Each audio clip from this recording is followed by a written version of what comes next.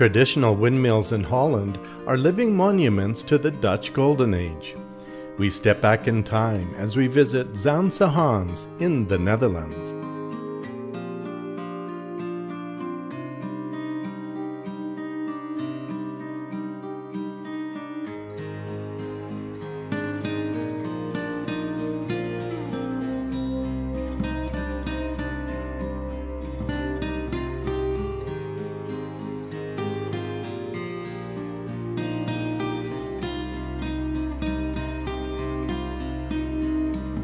Zaanse Schans is a short distance north of Amsterdam and a very popular excursion for tourists.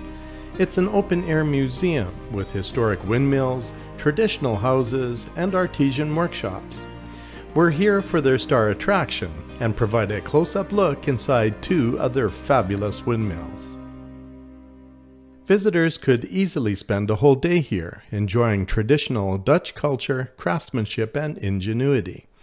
In addition to a windmill museum, the village boasts a captivating assortment of well preserved historic buildings, including charming shops that showcase artisans at work, demonstrating age old techniques from wooden shoe carving to cheese making. Just as the park was opening, we head straight to a historic windmill making paint dyes, and then one functioning as a sawmill. Not all windmills are open to the public, and one we stopped at would only accept tour groups. But the two we saw were fabulous and showcased two very different applications in function and design. And I'll provide some historical information on each. Our first windmill is De Kat and is believed to be the last remaining paint windmill in the world still in operation. The top of the windmill rotates to turn its sails into the wind. Its original construction dates back to 1664. It caught fire in 1782 and was restored shortly afterwards. Unfortunately, the upper mill was demolished in 1904, keeping only the gallery below. The upper section was then rebuilt in 1959, along with its drive mechanism, turning it back into the functioning mill we see today.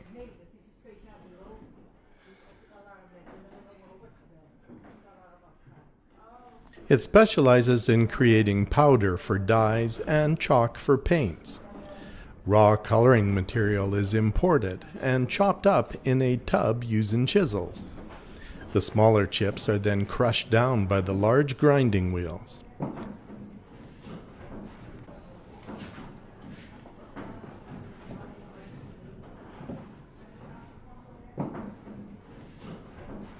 We head upstairs to see its large wooden gears rotating in operation. I was fascinated by them.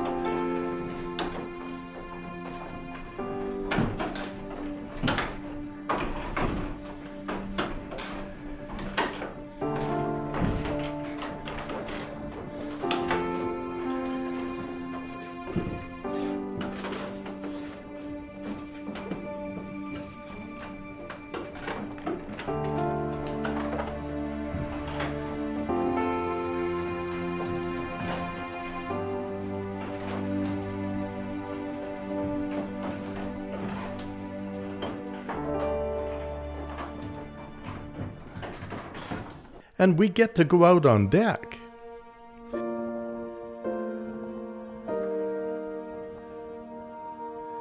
The sails are adjustable to help control the speed of the mill.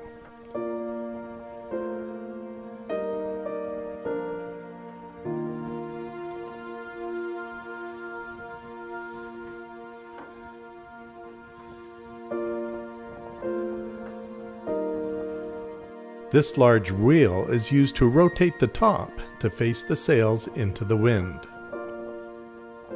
Imagine in the 17th century, around 900 windmills were along the River Zaan, and it was considered one of the world's first industrialized areas. Claude Monet painted here in 1871.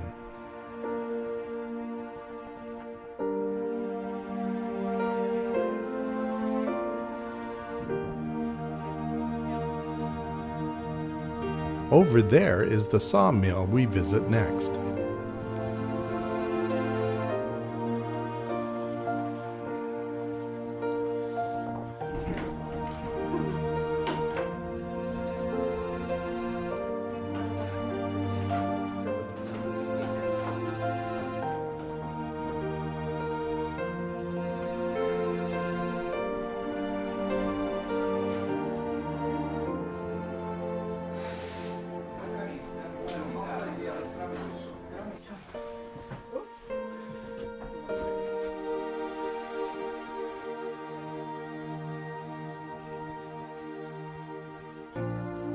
The sawmill was very important in Dutch history.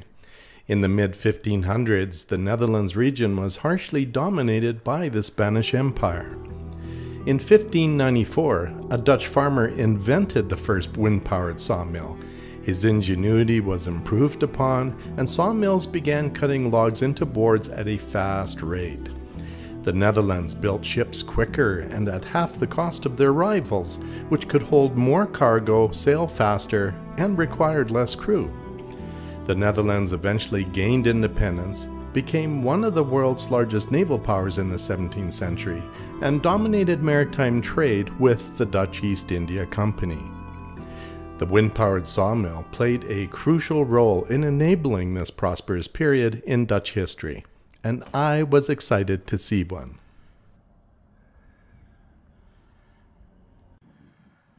This sawmill is a faithful reconstruction of an older mill built in 1680, but demolished in 1942. Fortunately, a windmill expert made detailed drawings of it before its demise. The drawings were preserved and 63 years later became the blueprint for its reconstruction. Building started in 2005 and took two years to complete. Today, it stands as an operational facility, sawing on a commission basis. Tree trunks are left in the water for one to five years to draw out sap, making the wood less prone to bending or cracking when being sawn. A windlass with ropes is used to hoist the trunks out of the water and onto a carriage. A large ratchet wheel pulls the carriage with the trunk through the saw.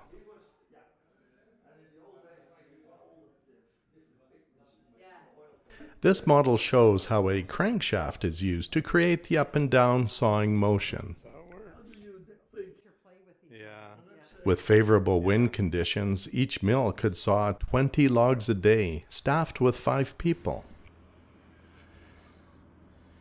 Over time, steam-powered sawmills took over as they were not prone to weather conditions and required less maintenance.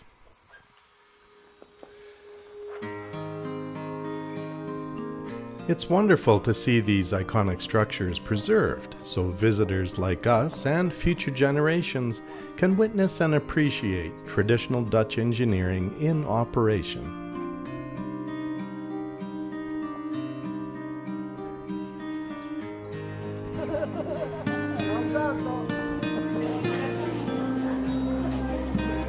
That one is my favorite.